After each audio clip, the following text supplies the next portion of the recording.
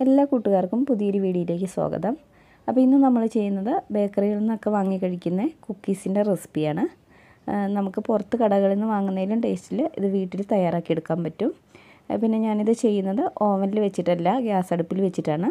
അതുകൊണ്ട് തന്നെ എല്ലാവർക്കും ട്രൈ ചെയ്ത് നോക്കാൻ പറ്റും.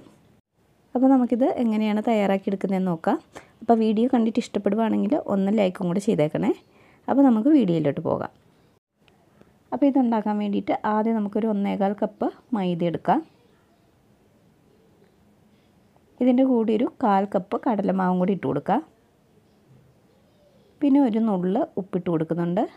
ഇതിന്റെ കൂടെ ഒരു അര ടീസ്പൂൺ ബേക്കിംഗ് പൗഡറും കൂടി ഇട്ട് കൊടുക്കുക ഇനി നമുക്കിതിലേക്ക് പഞ്ചസാര ചേർത്ത് കൊടുക്കാം. അപ്പം ഞാൻ പൊടിക്കാത്ത പഞ്ചസാര ഒരു മുക്കാൽ കപ്പ് എടുത്തിട്ടുണ്ടായിരുന്നു. അത് എന്നിട്ട് നന്നായിട്ട് പൊടിച്ചിട്ടാണ് ഇപ്പോൾ ഇതിലേക്ക് ചേർത്ത് കൊടുത്തിരിക്കുന്നത്. അപ്പോൾ പഞ്ചസാര ഓരോരുത്തരുടെ മധുരത്തിനനുസരിച്ച് ചേർത്ത് കൊടുക്കുക.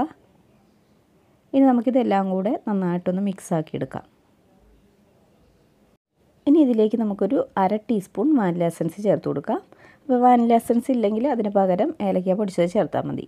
നമ്മൾ പഞ്ചസാര പൊടിക്കുമ്പം ഏലക്ക ഇട്ടിട്ടൊന്ന് പൊടിച്ചെടുത്താൽ മതി.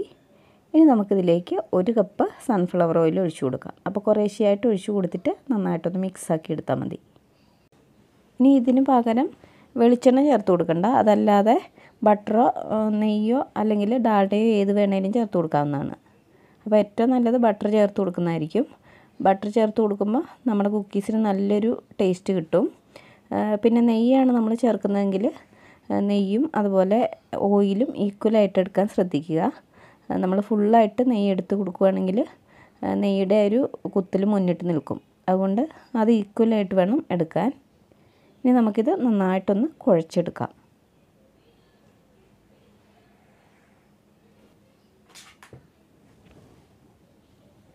ഇതിപ്പോൾ ഞാൻ നന്നായിട്ടൊന്ന് കുഴച്ചെടുത്തിട്ടുണ്ട്. ഇനി നമുക്ക് നമ്മൾ ബേക്ക് ചെയ്യുന്ന പാത്രം ഒന്ന് സെറ്റാക്കി വെക്കാം. അപ്പോൾ ഒന്നെങ്കിൽ ബട്ടർ പേപ്പർ വെച്ച് കൊടുക്കുക. അല്ലെങ്കിൽ കുറച്ച് എണ്ണയൊന്ന് തടവി കൊടുക്കുക. ഞാൻ കുറച്ച് എണ്ണയൊന്ന് തേച്ച് കൊടുത്തിട്ടുണ്ട്. ഇനി നമുക്ക് നമ്മൾ കുഴച്ച് വെച്ചിരിക്കുന്ന മാവിൽ നിന്ന് കുറേശ്ശെയായിട്ട് എടുത്തിട്ട് ഇതുപോലെ ഓരോ ഉരുളകളാക്കി എടുക്കാം.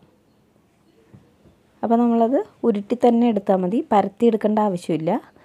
നമ്മളിത് ബേക്ക് ചെയ്യുന്ന സമയത്ത് ഇത് തന്നെ പരന്നു വന്നോളൂ. അപ്പോൾ നമ്മൾ വെക്കുന്ന സമയത്ത് ഇതുപോലെ ഉരുട്ടി വെച്ച് കൊടുത്താൽ മതി. ഇതിന് നമുക്ക് നമ്മുടെ പാത്രത്തിലേക്ക് വെച്ച് കൊടുക്കാം.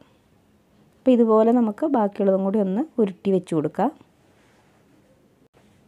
ഇനി നമുക്കിതിന്റെ എല്ലാം മേലെ കൂടെ കുറച്ച് കറുത്ത ഉള്ള ഭംഗിക്ക് വേണ്ടിയിട്ട് ഇട്ട് കൊടുക്കാം.